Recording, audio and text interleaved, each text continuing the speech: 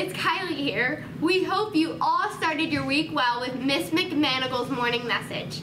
Today is Tuesday, September 12th, and I'm here alongside with Chloe. We're here with some news updates and a moment of reflection for today. Firstly, reflecting on last week, I hope our sixth graders and web leaders had a memorable experience during their first movie night at Arcade Middle School on September 8th. It's always awesome to see new students having fun and being a part of our school community. Absolutely, Kylie. Now, about our weekly schedule Tuesdays are for your morning announcement, and don't forget, Wednesdays are reserved for our PBIS videos. And then we'll wrap the week up for more updates and PBIS winners on Friday during Go. That's right, Chloe.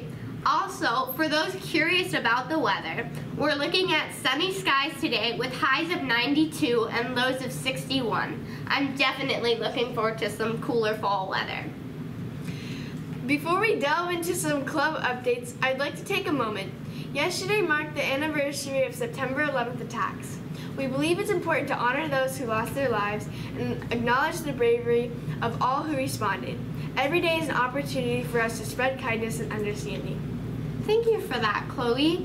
On a different note, we want to give a shout out to all the clubs that are starting up. Exciting times are ahead at Arcade Middle School with the choir club and the esports club. Absolutely. As we wrap up our announcements for today, let's remember our core values.